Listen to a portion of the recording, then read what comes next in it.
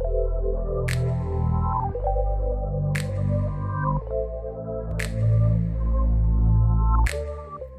I'm Naa Sydnia, and today I want to talk to you about your operating agreement.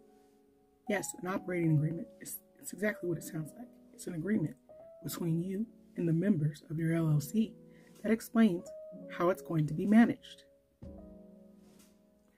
Don't worry, don't get intimidated. You can do this too.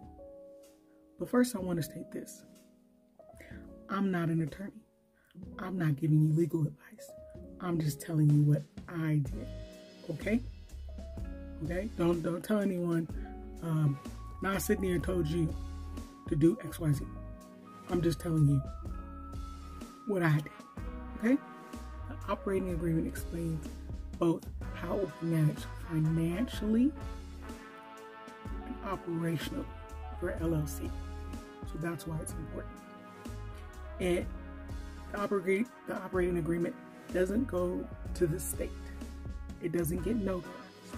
You keep it with your other business documents in a file cabinet, locked away, in safe, I don't know, wherever you keep your other business documents. You need to have that on hand, okay? It explains who the members are and what their percentage of ownership is. Very important. Who the members are and what their percentage of ownership is also known as the membership interest. It's also known as the membership. It explains how the LLC is going to be managed, how taxes are paid, how members incur profits and losses. So that is why it's important. It's a very specific document.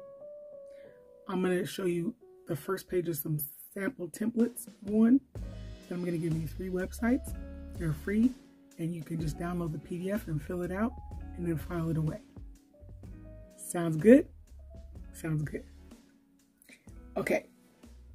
It's a working document, so it's meant to be fluid. You can change things, simple things on it. Um, phone numbers of members, um, updating the business address, things of that nature. However, if it gets complicated and there's a lot more things you need to change, or there's not agreements, you need to get an attorney. Okay? Don't do it yourself. Get an attorney at that point. This is a simple document. Remember, there are single member LLCs and multiple member LLCs. Single member, okay. Multiple member, two or more. Two or more is a multiple member LLC, okay? Who needs this document? Who may need this document? You ask yourself financial institutions, lenders, right? Title companies, if you're going to purchase land or get loans for land, realtors, accountants for your taxes, payroll, lawyers, in case you need a lawyer, mm, investors, you want to show them how this works, how this, this thing is put together, you need to show this to investors. Courts, finally courts may need the document because it's important to keep your LLC separate from your personal accounts. Remember, that's why we talked about getting our own business account before, not getting money put in our own personal account, keeping them separate legally. Okay? So remember that part, that's very important. Once again, it doesn't need to be notarized. So, what papers do we need to create our operating agreement? You need your LLC formation docs, mm, formation date goes on there, the name and date of the registered office, and remember your agent, they go on there.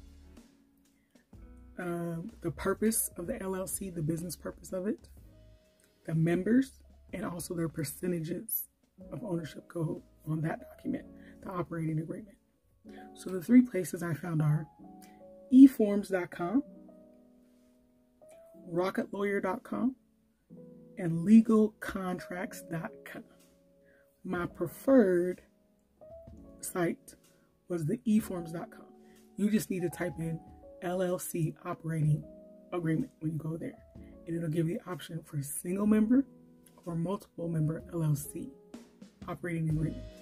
You follow directions and you type it in and then you print it out and you're off. If it's a PDF, simply print it out, fill it in, and file it that way. Or you could scan it if you're technologically savvy. You could scan it, fill it in electronically, print it out. Okay? You're free.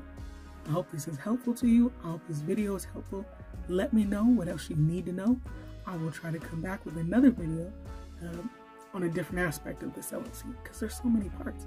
People make entire, entire YouTube channels for LLCs alone. So I'll think about what else you might need and I'll try to address some things I came up against, okay? So I hope this is helpful to you. Let me know. I'm going to have some pictures at the end so you can see what the document looks like. Down in the comment section, I'll have the email addresses for these companies with the templates, okay? And I did in the last video answer and put in the site you can look at to see that you don't have to pay the $800 taxes for the next three years. I did do that, okay? And someone else asked me about how long is the state of California taking to approve their LLC. I would say between five to 10 business days. I got mine pretty quick. And it, could be the time of year or how many people are applying because it was January. So it's February. Uh, hopefully you can get in there and mail it in. Don't forget to get that EIN tax number. Remember your business account. If you have employees, you need to go contact that franchise tax board as well. Remember that?